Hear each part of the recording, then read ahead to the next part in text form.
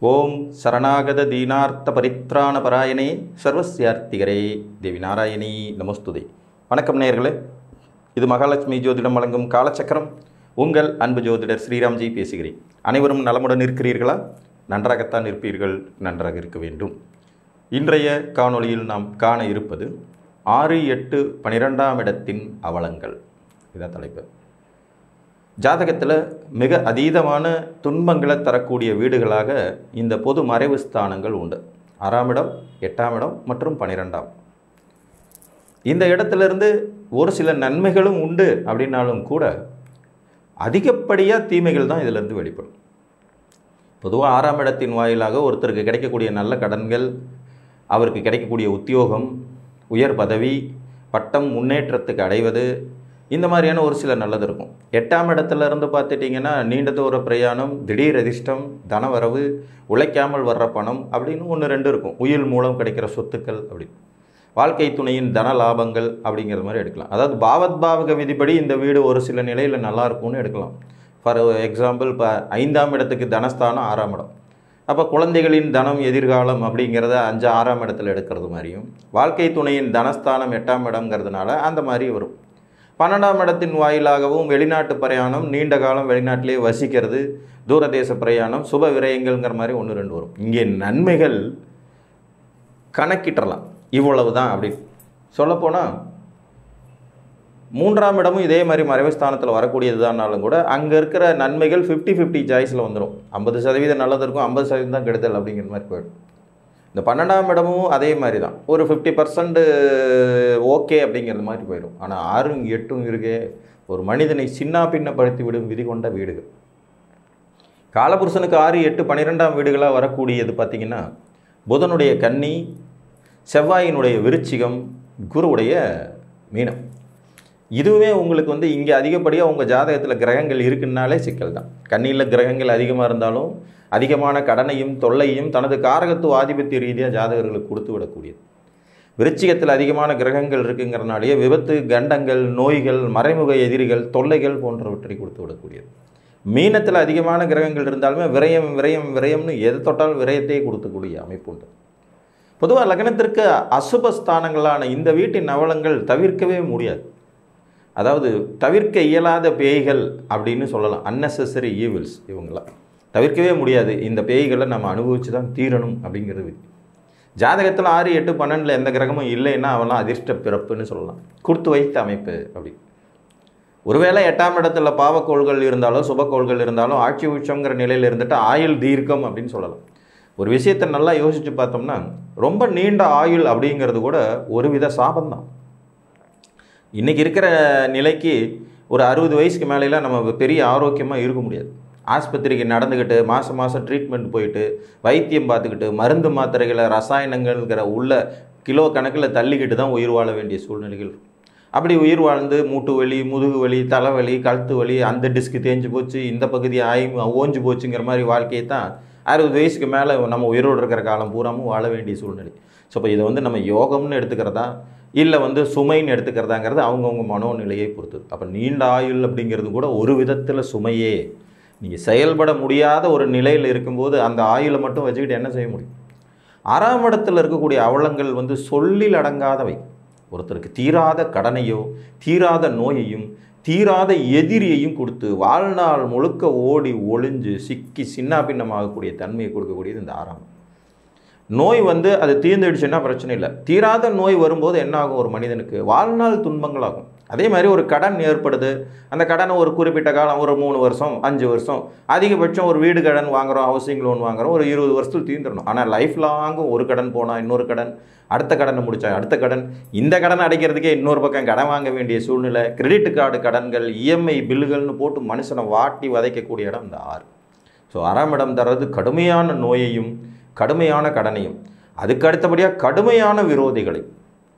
வாழ்நாளில் நம்ம மறக்க முடியாத விரோதிகள். பார்த்தா ஓடி ஒழியணும் இல்லை அவனை நாம வெட்டணும் இல்லை அவன் நம்மளை வெட்டணுங்கிற மாதிரியான விரோதத்தை உருவாக்கக்கூடிய அவலமும் இந்த ஆறாம் இடத்துல தான் நோயின் தன்மையை குறிக்கக்கூடிய வீடும் அதுதான். நீங்கள் ஹார்ட் ஒர்க் பண்ணியும் அதுக்கான பலன் கிடைக்காம போய்டுறதும் ஆறாம் இடத்தின் வஞ்சகம் தான். ஸோ இப்போ ஆறாம் இடங்கிறது ஒரு அவயோகமான வீடுங்கிறதுல எந்த மாற்று கருத்து இல்லை. அங்கே இருக்கிற யோகங்கள் வெறும் அஞ்சு பர்சன்ட் அவயோகம் தொண்ணூத்தஞ்சு சதவீதம். இப்போ தொண்ணூத்தஞ்சு சதவீத துன்பங்கள் ஒரு மனிதனுக்கு ஆறாம் இடத்தின் வாயிலாகவே வரும். அதனால தான் எப்போவுமே ஆறாம் அதிபதி இடத்துல கவனமாக இருக்கணுங்க. நம்ம லக்னாதிபதியே ஆறாம் அதிபதியாக வந்துட்டார். என்ன பண்ண முடியும்? ஒன்றுமே பண்ண முடியாது. அதுதான் உங்கள் கர்மான்னு நினச்சி அனுபவிச்சு தான் தீர்த்தாகும் லக்னாதிபதி ஆறாம் அதிபதியாக வர்றது ரிஷபத்துக்கும் விருச்சிகத்துக்கும் ஸ்பெசிஃபிக்காக வரும். அப்போ லக்னாதிபதியே ஆறாம் அதிபதி என்ன சார் பண்ண முடியும்? இந்த மேசம் ரிஷபம் துலாம் மற்றும் விருச்சிகம் இந்த நாலு வீடுமே பார்த்திங்கன்னா ஒரு சூட்சமமான அமைப்பு கொண்டவை. இதில் மேசத்தில் சூரியன் உச்சமாவார் ரிஷபத்தில் சந்திரன் உச்சமாவார். தாயும் தகப்பனையும் உச்சம் பண்ணுற அந்த ரெண்டு வீட்டுக்கு நேர் ஆப்போசிட் வீடுகள் பார்த்தீங்கன்னா அதே தாயின் தகப்பனையும் நீச்சம் பண்ணுற வீடுகளாக இருக்கும். துலாத்தில் சூரியன் நீச்சமாவார் விருச்சிகத்தில் சந்திரன் நீச்சமாவார். இது ஒரு சூட்சமம். இந்த ரெண்டு வீடுகளின் அதிபதிகள் மட்டும்தான் சஷ்டாஷ்டக லக்னாதிபதிகளாகவே வருவாங்க. அதிகமாக சஷ்டாஷ்டகமாக லக்னாதிபதிகளாக வந்து துன்பத்து கடுமையாக தரக்கூடிய தன்மை கொண்டவங்களும் அங்கே இருப்பாங்க. அப்போ மேச லக்னத்துக்கு அதிபதியாக எட்டாம் அதிபதி செவ்வா வருவார். துலா லக்னத்துக்கு அதி இது ரிஷப லக்னத்துக்கு அதிபதியாக ஆறாம் அதிபதியாக சுக்கிரன் வருவார். துலா லக்னத்துக்கு அதிபதியாக எட்டாம் அதிபதியாக சுக்கிரன் வருவார். விருச்சிக லக்னத்துக்கு அதிபதியாக ஆறாம் அதிபதியாக செவ்வாயே வந்துடுவார் லக்னாதிபதியே தனக்குத்தானே குழி பறித்து கொள்வது சொந்த காசில் செய்வேன்னு வச்சுக்கிறதெல்லாம் இந்த நாலு லக்னத்தில் பிறந்தவங்களுக்கு இயல்பாகவே நடந்துவிடும் தன்மை கொண்டது. இதுக்கடுத்து சொந்த காசில் பிரச்சனை பண்ணிக்கக்கூடிய ஆள் யாருன்னு கேட்டிங்கன்னா கும்பலக்னக்காரன். ஏன்னா அவங்களுக்கு லக்னாதிபதி பன்னெண்டாம் அதிபதியாக விரையாதிபதியாக வந்து அந்த வேலையை ரொம்ப தெளிவாக செய்யும். எட்டாம் இடத்துலேருந்து கிடைக்கக்கூடிய அவலங்கள் அப்படின்னு பார்த்தீங்கன்னா திடீர்னு வாழ்க்கையை முடிச்சு போட்டுற விஷயங்கள். ஸ்ட்ரேஞ்சர்ஸ் திங்ஸுங்கிற மாதிரி சடுதியில் தோன்றக்கூடிய விபத்துக்கள் கண்டங்கள் உயிர் பிரிந்து விடும் நம்ம டெய்லி அன்னாடும் பேப்பரில் பார்க்குறோம் இல்லைங்களா? கடலில் குளிச்சுட்டு இருந்தாங்க ஆறு மாணவர்களை காணாம. குடும்பத்தோடு கோயிலுக்கு போயிட்டு திரும்பி வரும்போது ஒரே குடும்பத்தைச் சேர்ந்த ஆறு பேர் பலி எட்டு பேர் பலி விபத்துகள் கண்டங்கள் உடனே நல்லா போயிட்டு இருக்கிற லைஃப் அப்படியே ஸ்பீடு பிரேக்கர் கொடுத்து டோட்டலாக கன்ஃபியூஸ் பண்ண வரக்கூடிய இடம் எட்டு. வாழ்க்கையில் சம்மந்தமே இல்லாத ஒரு நபர் திடீர்னு உள்ளே வருவார். நாலு மாத பழக்கத்திலே அவரை நம்ம ஏதோ வந்து உயிர் உடன்பிறவா சகோதரர் மாதிரி நம்பி எல்லாத்தையும் ஒப்படைப்போம் மொத்தமாக ஆப்படிச்சுட்டு போயிடுவாங்க. அந்த மாதிரி எதிர்பாராத திடீர் திருப்பங்கள். அதாவது திடுக்கிடும் திருப்பங்களுக்கு பேர் போன இடம் எட்டு. பேய் படம் பார்க்குற மாதிரி இருக்கும். எட்டாம் இடம் அதிக வலுவாக இருந்துச்சுன்னா அவங்க வாழ்க்கை. எட்டாம் இடம் வலுவாக உள்ளவர்கள் நிச்சயமற்ற தன்மையை வாழ்நாளில் உணர்ந்துக்கிட்டே இருக்க முடியும். எட்டில் அதிகப்படியான கிரகங்கள் இருக்குது உங்களுக்கு எட்டாம் இடம் ரொம்ப ஸ்ட்ராங்காக இருக்குனாலே நிச்சயமற்ற தன்மை. உங்கள் லைஃப் நிச்சயமே கிடையாது. நீங்களாம் அந்த மெடிக்கல் இன்சூரன்ஸ்லேருந்து எல்லா இன்சூரன்ஸும் போட்டு வச்சுக்கணும். எப்போதும் நாளை என்பது நிச்சயம்னு நம்பி இருக்கவே முடியாது. எப்போ வேணால் கம்த்து விட்டுரும். எட்டு அவ்வளோ மோசமானது. அங்கே இருக்கிற இப்போ ஒரு நல்ல விஷயம்னு பார்த்தோம்னா ஆயில் இருக்குது ரைட் ஆயுசை மட்டும் வச்சுட்டு என்ன பண்ணுறது திடீர் அதிர்ஷ்டம் தானே வரவுங்கிற மாதிரி ஒன்று ரெண்டு நல்ல விஷயங்கள் இருக்குனாலும் கூட அதெல்லாமே வந்து ஒரு நல்ல கிரக அமைப்பு சூழல் இருந்தால் மட்டும்தான். ஒரு மிகப்பெரிய விபத்தில் சிக்கி ஒருத்தருக்கு இடுப்பு கீழே வேலை செய்யாமல் போயிடுது. இனிமேல் அவர் வந்து வாழ்நாள் முழுக்க சக்கர நாற்காலியில் தான் போகணும்னு வந்துடுது இன்சூரன்ஸ் கம்பெனி இருபத்தஞ்சு லட்சம் பணம் கொடுக்குது. இது என்ன யூஸு நல்லா யோசிச்சு பாருங்க. அவர் செயல்பட முடியாது. சக்கர நாற்காலியில் தான் உட்காந்துட்டு இருந்தாகணும். ஆனால் பணம் கிடச்சிருச்சு. பேங்க்கில் போட்டு வச்சுட்டு மாதம் ஆனால் வட்டி வாங்கிட்டு சோறு தின்னுட்டு இருக்கலாம் அப்படின்னு ஒரு முடிவு எடுக்கலாம். அதுக்கும் எவனாவது ஒருத்தன் வந்து வில்லங்கம் பண்ணுவோம் இந்த பணத்தை இப்படி போட்டு அப்படி போட்டு திருப்பி எடுத்து பெரிய ஆளாகி அப்படின்னு. ஸோ இதுதான் எட்டாம் இடம். நம்மளுக்கு ஒரு கடுமையான இழப்பையும் வேதனையையும் மன வருத்தத்தையும் கொடுத்துட்டு அதுக்கு லைட்டாக மருந்து போடுற மாதிரி வேலையை செய்கிறது எட்டு. அசிங்க அவமானங்கள். நல்லா போயிட்டுருக்கிற லைஃப் அப்படியே புரட்டி போடுறது. வாழ்க்கை தலைகுப்புற கீழே விழுகிற இடம் எட்டு. எட்டினோட சிம்பிளே பார்த்தீங்கன்னா உயரத்திலிருந்து ஒரு மனிதன் கீழே விழுவதை குறிக்கும். ஆறாவோட சிம்பிள் பார்த்தீங்கன்னா நோய்வாய்ப்பட்டு படுத்த படுக்கையை குறிக்கும். சின்னம் பாருங்கள் அந்த வீடுகளின் சின்னங்களே இப்படி இருக்கும். நோய்வாய்ப்பட்டு படுத்த படுக்கையை குறிக்கிறது ஆறு. உயரத்துலேருந்து தலகுப்புற கீழே விழுகிற குடிக்கிற இடம் எட்டு. ஸோ ஒரு நல்ல அந்தஸ்து புகழ் கௌரவத்தோடு வாழ்ந்துட்டு இருக்கிற ஒரு மனுஷனுக்கு ஒரு நைட்டில் நடக்கிற ஒரு சிக்கல்னால ஏற்படக்கூட தலைக்குனிவுகள் சமீபத்தில் கூட நிறைய பிரபலங்கள் மேலே அந்த குற்றச்சாட்டு இந்த குற்றச்சாட்டு பாலியல் குற்றச்சாட்டுங்கிறது மாதிரிலாம் வருது இல்லைங்களா? இதெல்லாம் இந்த மாதிரி எட்டாம் இடம் சம்மந்தப்பட்ட விஷயம்தான். முத நாள் காலையில் வரைக்கும் பெரிய மனுஷன் சொல்லி ஊரே தலையில் தூக்கி வச்சு ஆடிட்டு இருக்கோம். அடுத்த நாள் பார்த்திங்கன்னா இவன் ஒரு சாக்கடை அப்படின்னு நியூஸ் வரும். உண்மை பொய்ங்கிறது அது வேறு விஷயம். ஆனால் அந்த மாதிரியான தலைகுனிவை அவமானத்தை சிக்கல்களை வில்லங்கங்களை தரக்கூடிய அவலம் நிரம்பிய இடம் எட்டு. ஸோ எட்டை நினச்சி பெருமைப்படுறதுக்கெல்லாம் ஒன்றுமே இல்லை. வருத்தம் தான் பட இந்த வீடுகளில் அதிக கிரகங்கள் இல்லாமல் பிறப்பவன் அதிர்ஷ்டசாலி. உங்களுக்கு ஆறாம் இடம் எட்டாம் இடம் பன்னெண்டாம் இடம் அதிக கிரகம் இல்லையா? நீங்கள் கொடுத்து வச்சவர். இந்த மூணுலேயுமே கிரகம் இல்லாமல் நீங்கள் பிறந்துட்டீங்கன்னா உங்களை மாதிரி அதிர்ஷ்டசாலி உலகத்தில் யாரும் இல்லைன்னு சொல்லலாம். அதுக்கடுத்து பன்னெண்டாம் இடம் தரக்கூடிய அவலம் எது வந்தாலும் தங்காது. விரயம் விரை பன்னெண்டாம் இடத்துல அதிகம் வலு கிரகம் வலுத்தவங்களுக்கு சோறு உடம்புல தங்காதுங்க. தூக்கம் தங்க தூங்க முடியாது நிம்மதியாக ஒரு இடத்துல நிரந்தரமாக நிலைத்து உட்கார முடியாது. எங்கேயாவது போய் தலைமறைவாக இருந்துக்கிட்டு அட்ரஸ் தெரியாத ஊரில் பாஷை தெரியாத இடத்துல இருந்தால் மட்டும்தான் அவங்க சஸ்டைனே பண்ண முடியும். காசு பணம் எவ்வளோ வந்தாலும் விரயம் பண்ணிடுவாங்க. லக்னாதிபதியெல்லாம் போய் பன்னெண்டாம் இடத்துல உட்காந்துட்டா இவங்க நம்ப தகுந்த மனிதர்களே இல்லை. தன்னம்பிக்கை ரொம்ப குறைஞ்சி போயிடும். கான்ஃபிடென்ட்டே இல்லாத மாதிரி ஒரு வாழ்க்கையை வாழ்ந்துட்டு இருப்பாங்க.